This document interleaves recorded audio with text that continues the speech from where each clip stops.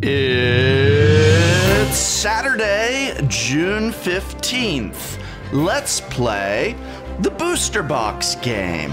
How does this game work? Well, I'm going to be opening up a booster box of Modern Horizons, and I'm going to try and get $200, which is what I paid for the box. If I can get $200 in rares, mythics, and foils, then I will sell those cards and go down to my local game store and buy another box. I'll keep opening boxes until I open one that is not worth what I paid for it. Will I open 10 boxes? Or perhaps just the one?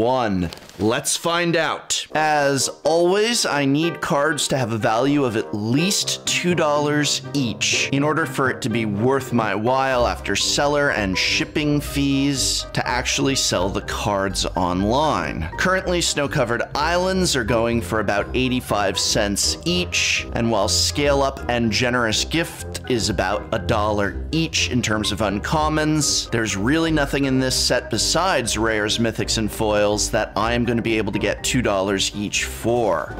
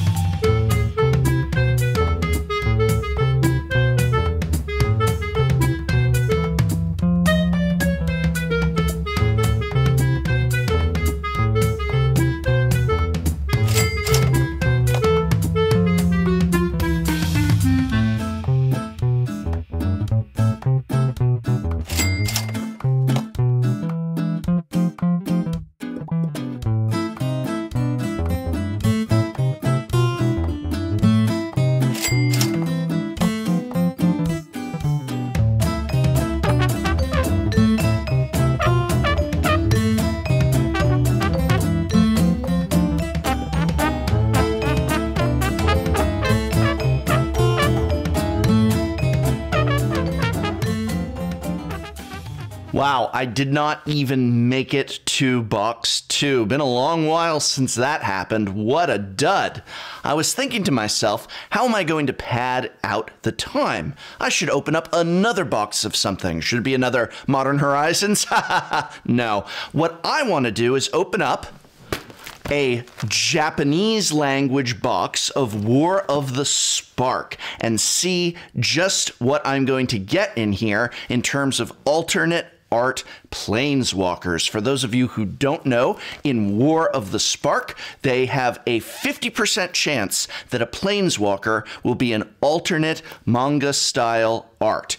I'm going to open up this box. I was able to get it via a friend in Japan, and let's just see what it's worth. Oh, but first, what am I going to do with all of those snow covered islands? Well, I figured that since I've got so many snow covered islands thanks to this box, that these are going to be my gift to new patrons at the $10 level this month. Patreon is a very important way that keeps this channel going, and for those who pledge $10 or more a month, I give a one time thank you gift of a signed magic card. Since snow covered islands are in such excess and accessibility right now, I thought this would be a fun, great card for the month. So if you want to help this channel out, as well as get a signed card from the professor, go on over to patreon.com forward slash Tolarian Community College and help keep this channel going and growing strong. Now, let's crack open that Japanese booster box. So I got this right around the time that War of the Spark actually released. My friend was in Japan and she was able to pick me up a box for $120 US. These are a little harder to get in the US right now, and the price on eBay that I'm seeing for them is $180. I only have the one box right now, so I'm not cracking multiples. I'm putting 120 bucks up on the screen since that is